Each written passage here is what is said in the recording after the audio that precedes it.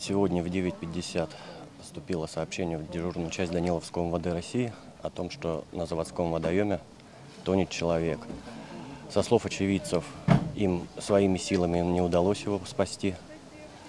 Вот, после чего был вызван поисково-спасательный отряд из города Ярославля. В настоящее время тело извлечено из водоема.